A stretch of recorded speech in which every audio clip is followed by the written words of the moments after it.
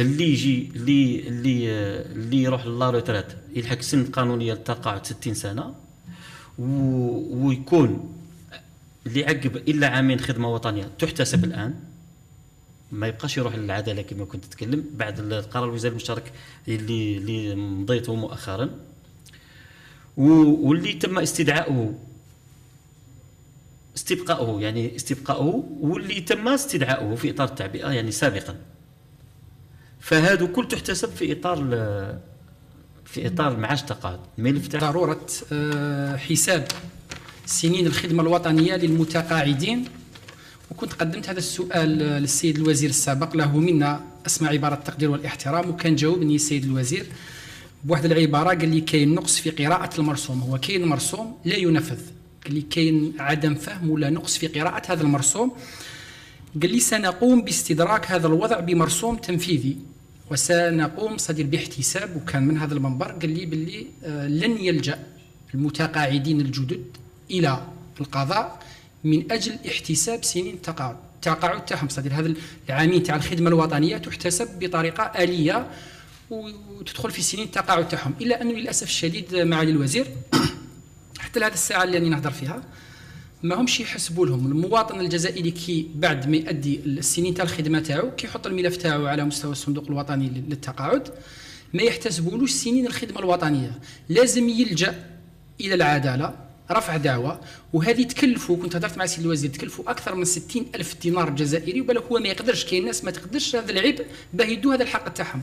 إحنا من باب أنه لازم نحفظوا كرامة المواطن ونساعدوا المواطن باه يدي الحقوق تاعو.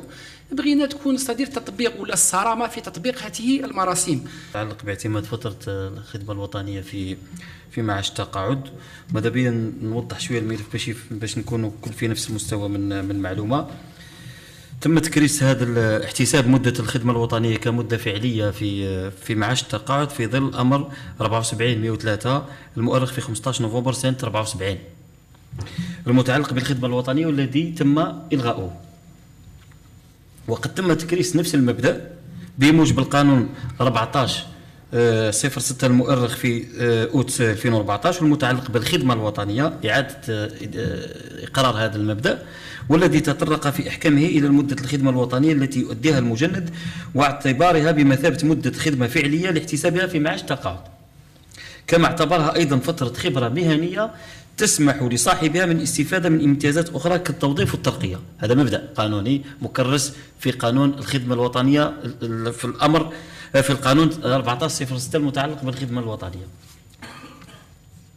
وتنص أحكام القانون 83 12 المتعلق بالتقاعد عندنا. لا سيما المادة 11 على أنه تعتبر فترة الخدمة الوطنية فترة عمل وتحتسب في معاش التقاعد المباشر أي التقاعد في السن القانونية الذي حددها المشرع 60 سنة على الأقل. أما عن فترة الخدمة الوطنية في معاش التقاعد بالنسبة للمستفيدين من التقاعد النسبي ودون شرط السن.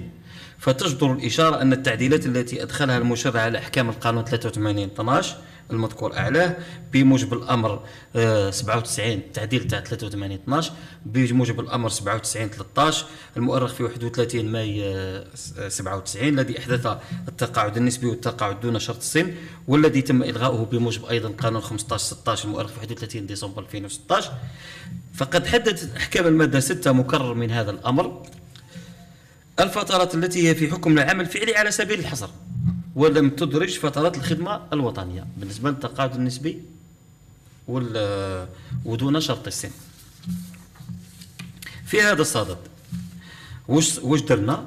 في هذا الصدد تم إمضاء هذه اللي مبشرك بها تم إمضاء قرار وزاري مشترك في في في أوت الماضي هذا حيث يحدد كيفية تثبيت فترات الخدمة الوطنية والاستبقاء إلى ما بعد المدة القانونية للخدمه الوطنية وإعادة الاستدعاء في إطار التعبئة.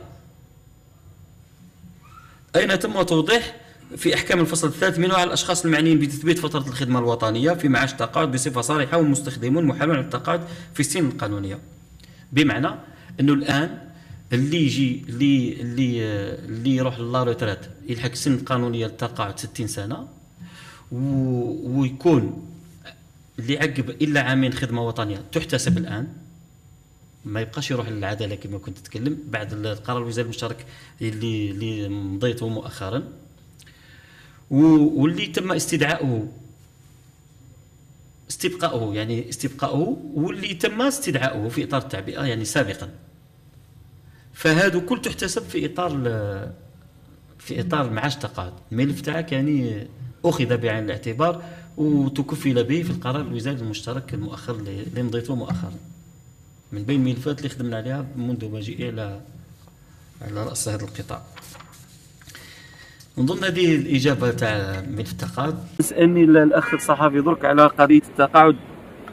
وكنت كنا تكلمنا على هذا الموضوع احتساب الخدمة الوطنية والاستبقاء والاستدعاء الان فصاعدا يدخلوا في التقاعد في حساب التقاعد للمستفيدين من التقاعد ما بعد 60 سنة اللي يدخل في التقاعد العادي يستفيد من خدمات من هذا من هذا من هذا من هذه الميزة من هذا هذا الامتياز اللي هو سنوات الخدمة الوطنية يستفاد منها وال, وال وفي سنوات الخدمة الوطنية ولا الاستبقاء ولا الاستدعاء يستفاد منها. في في لاروترات ويستفاد منها في آه، الترقية وفي المسار آه، المهني تاعو. وهذا أيضا مكسب مكسب اجتماعي يضاف إلى المكاسب الاجتماعية الأخرى اللي لازم أيضا آه، نثمنوه تبقى يعني اللي استفادوا من التقاعد النسبي قبل التقاعد دون شرط السن لهذا راهو توقف في سنة 2016 هذو مستثنين من العملية لأنه لأنه الموضوع يمس إلا اللي راح يستفادوا من من التقاعد.